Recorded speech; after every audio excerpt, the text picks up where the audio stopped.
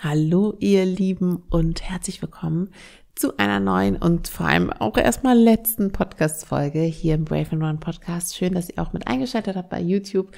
Es ist jetzt so, dass ja, jetzt so die letzte Podcast-Folge im Mai da ist und dann sind wir mh, Juni, Juli, August drei Monate in Podcast-Pause, in einer großen Sommerpause und starten dann ganz frisch wieder im September mit ein. Und genau, freue mich da sehr drauf persönlich, weil da einfach ganz viele Projekte auch noch im Hintergrund eben laufen.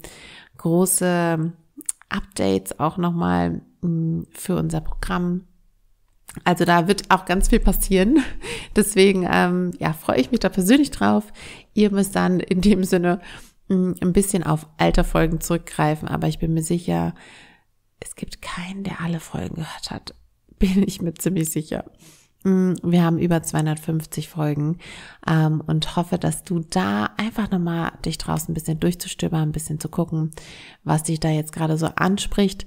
Bestimmt sind die ganz allerersten Folgen sehr, sehr spannend, weil wir da wirklich, also wenn ich überlege, ich sitze jetzt hier gerade von der Kamera mit so einem Setup und unserem Podcast Mikro. Ähm, und die allerersten Folgen habe ich mit Tim zusammen gemacht, mit so einem ähm, kleinen Rekorder und so einem kleinen Puschel-Ansteckmikro, mm, was wir uns so, ach nee, gar nicht, wir hatten noch nicht mal ein Ansteckmikro. Ich glaube, wir haben einfach das Aufnahmegerät so hin und her gegeben. Ja, also ganz wild. Das waren so unsere Anfangszeiten. Da haben wir bestimmt auch noch mit Sicherheit anders gesprochen, ähm, als ich es jetzt auch so tue. Genau, wie gesagt, wir haben am Anfang oder die meiste Zeit eigentlich auch den Podcast hier zusammen gemacht, bis es sich dann irgendwann auch eigentlich mit Geburt unserer Tochter immer mehr so dahin entwickelt hat, dass ich den Podcast hier so übernehme. Und ähm, ja, deswegen, wenn du mal lustig bist, kannst du da mal so ein bisschen zurück ähm, scrollen und dir einfach auch mal in der Podcast-Pause einfach mal so ein paar Podcast-Folgen von früher anhörst.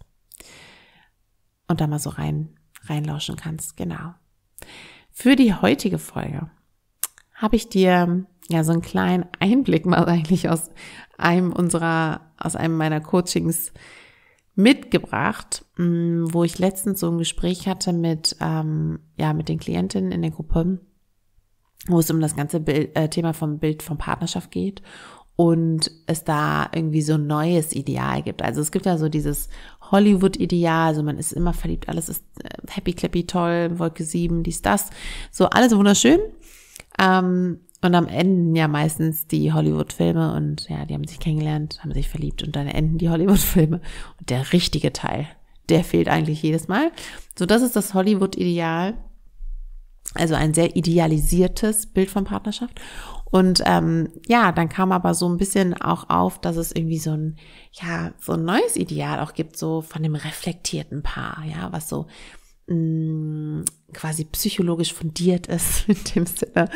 Also sich da einfach schon ganz gut auskennt. Ähm, ja, ein sehr offenes Mindset hat und sehr reflektiert ist.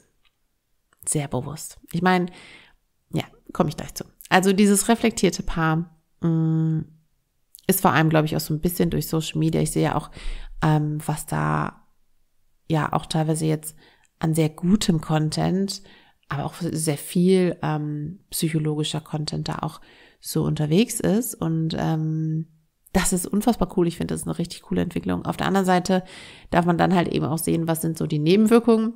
Mm. Und eine Nebenwirkung ist, glaube ich, genau das, dass ähm, man dann den Partner, die Partnerin halt auch mit solchen Menschen vergleicht. Ja, also wenn man jetzt ähm, einen Partner hat und dann sind da Männer auf Instagram, die total reflektiert sind und alles teilen und so voll drin sind in der, äh, in der inneren Arbeit, in der Heilung und whatever.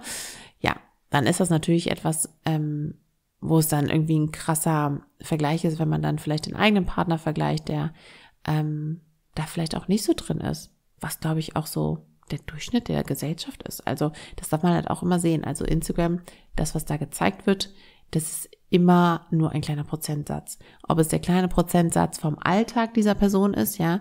Mm, ich kam jetzt in letzter Zeit halt auch gar nicht so viel zu Stories. Ähm, und äh, da ist es noch nicht mal ein Prozent, was ich zeige. Ähm, ja, und das ist halt auch einfach etwas, ähm, was man da auch immer sehen darf. Also entweder ein ganz, ganz kleiner Prozentsatz des Alltags und auch ein kleiner Prozentsatz der Gesellschaft, was man da so sieht. Deswegen, ja, grundsätzlich finde ich, das ist, ist das eine echt coole ähm, Entwicklung und ähm, ich bin auch wirklich überzeugt, dass auch jeder und jede solche eine Beziehung führen kann, wenn er oder sie das für sich möchte. Also, wenn du dir wünschst, dass du eine Beziehung führst, wo ihr relativ gleichgesinnt seid, ein ähnliches Mindset habt, ähnlich, ja, open-minded, sage ich mal auch so seid, dass ihr relativ offen rausgeht, viel reflektiert, viel auch über tiefe Themen sprecht, mm, dann glaube ich daran, dass das auch möglich für dich ist. Ähm, aber möchte halt auch dazu sagen, ähm, diese Menschen, die dann auch so drauf sind, das ist halt meistens nicht so der Durchschnitt der Gesellschaft, dass man dann so auch so drin ist in diesen ganzen Themen. Und natürlich reflektiert man immer sofort das eigene Verhalten. Vielleicht war das ja eine Trigger-Situation. Ich nehme das jetzt ein bisschen hops, ne, weil ich bin da selber drin in den Themen und ähm, äh, ich mache das auch persönlich sehr viel. Ähm, ich teile auch sehr viel mit Tim und trotzdem, äh, trotzdem, ähm, ja, ist Tim da zum Beispiel auch anders. Also ich finde, es gibt da unterschiedliche Abstufungen und das ist halt eben nicht so, das ist halt so der Nachteil oder ja, so diese Nebenwirkung dessen, dass es halt dann in so ein Extrem verfällt, ne? Und man dann irgendwie so super krasse Erwartungen und Ansprüche irgendwie an diese äh, Partnerschaft hat oder an den Partner, die Partnerin hat, was er oder sie irgendwie alles erfüllen muss. Ähm, und deswegen ist die Podcast-Folge halt eben dafür, um da wieder so ein bisschen Gleichgewicht reinzukriegen.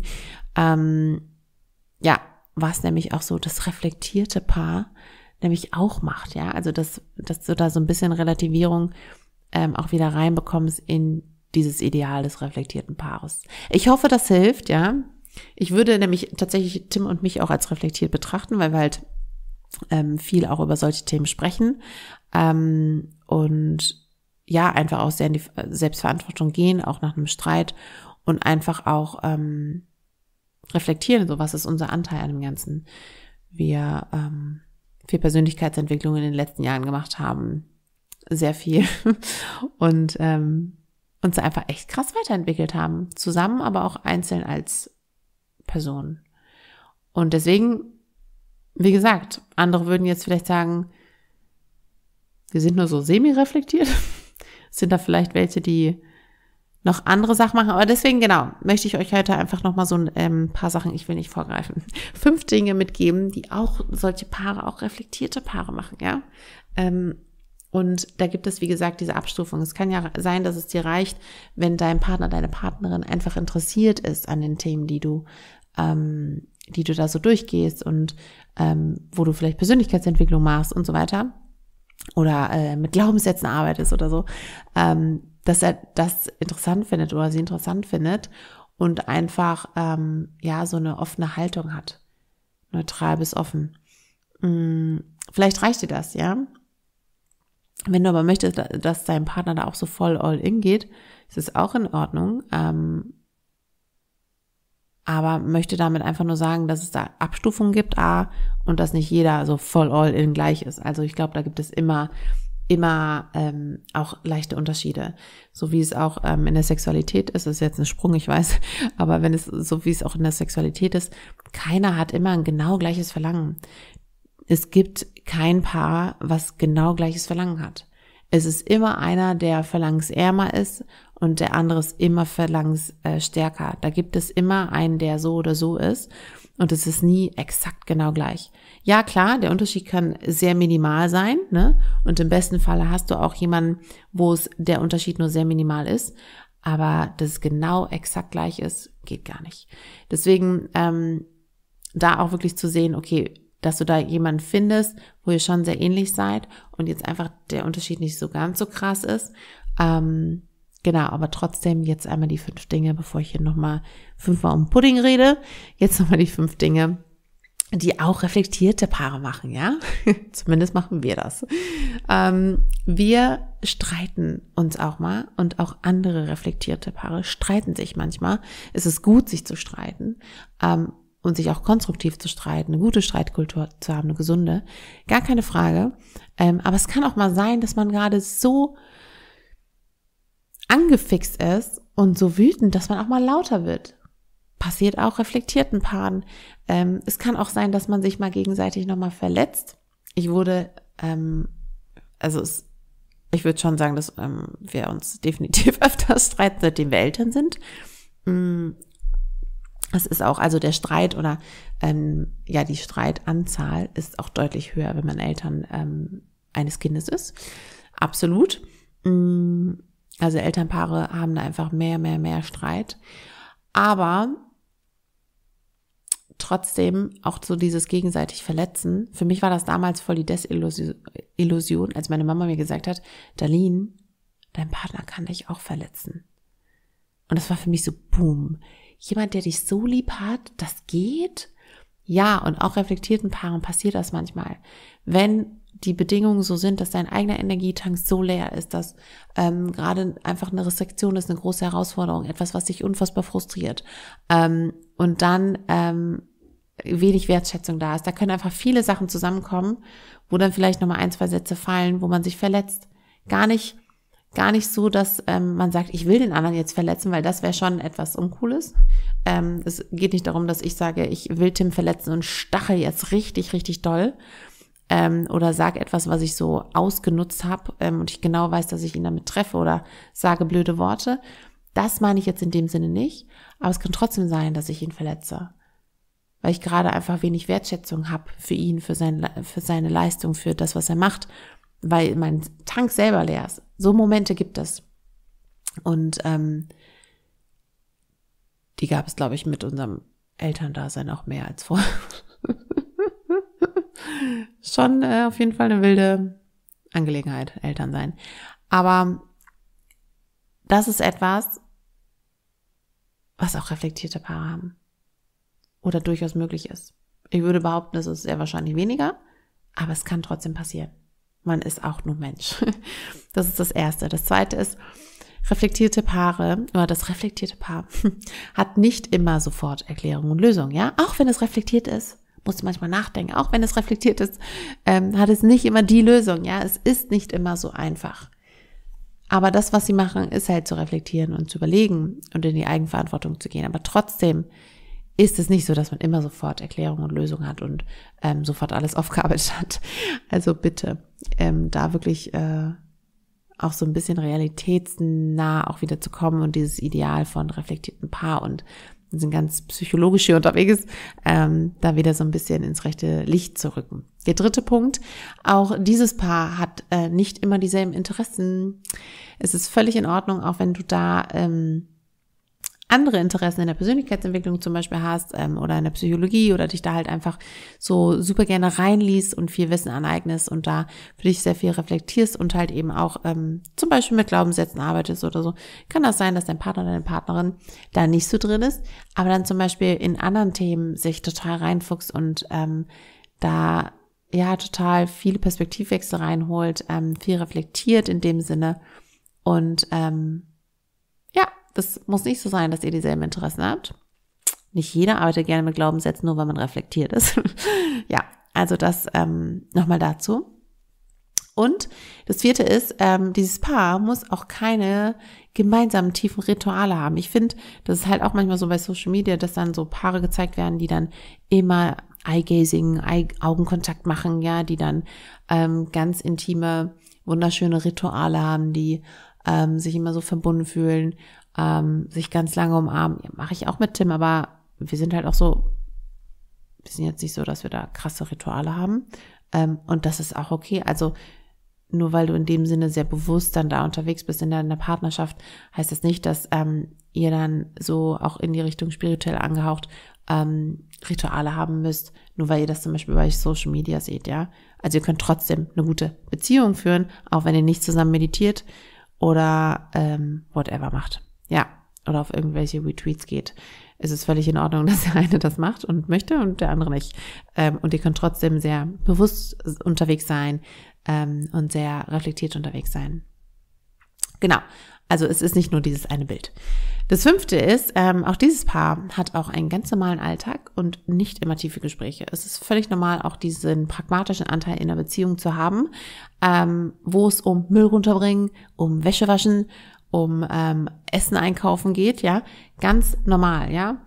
Ähm, für mich bedeutet vor allem dieses reflektiert, reflektierte Paar, ähm, bedeutet für mich, und das ist echt einer der größten Schlüsse, ähm, emotional intelligent, ja, dass du für dich Eigenverantwortung übernimmst, dass du da ähm, ja eben dich selbst auch reflektieren kannst, dein Verhalten reflektieren kannst, deine Gefühle, deine Innenwelt, deine Wahrnehmung ähm, reflektieren kannst. Und ähm, genau, wenn man dann on top halt auch noch die Interessen Persönlichkeitsentwicklung hat, ist das natürlich auch noch cool, ähm, wenn man dann da eben matcht und halt so open-minded ist. Sehr offen für neue Perspektiven. Ich hoffe, ich habe euch mal so ein bisschen mit in diese Gedankenwelt von diesem Ideal des reflektierten Paares mit reingenommen.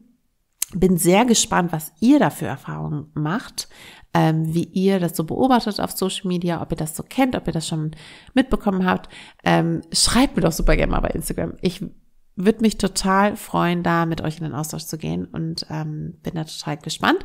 Hoffe, dass ihr aber auch ein bisschen dieses, falls ihr das kennt, dieses Ideal, das so ein bisschen relativieren konntet und wieder so ins rechte Licht drücken konntet, von wegen, ähm, ja, es ist nicht alles so hier oben, sondern es gibt einfach ganz viele Nuancen. Genau.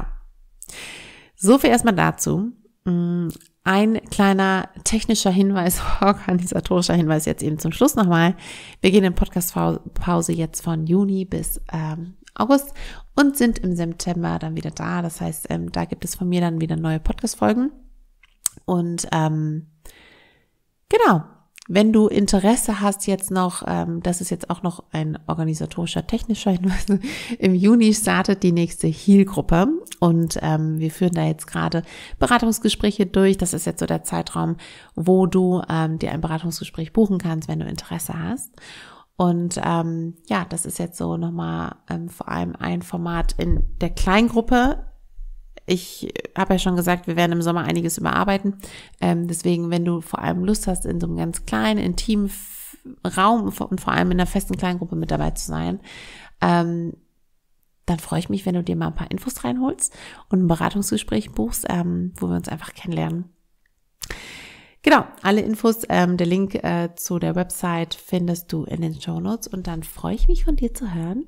Ich danke dir von Herzen für dein Vertrauen, für deine Aufmerksamkeit, für deine Zeit, die du hier in den Podcast rein investierst, ähm, die du in dich hinein investierst, um da weiterzukommen, zu lernen für eine erfüllte, ähm, harmonische Partnerschaft auf Augenhöhe. Und ähm, auch alle die bei YouTube äh, zuschauen. Danke für auch euer Vertrauen, euer Zuschauen. Ich freue mich total, dass ähm, ja der Videopodcast auch so cool, so gut bei euch ankommt und ähm, wünsche euch eine schöne Sommerzeit und dann sehen und hören wir uns im September wieder. Bis dahin, ihr Lieben. Tschüss.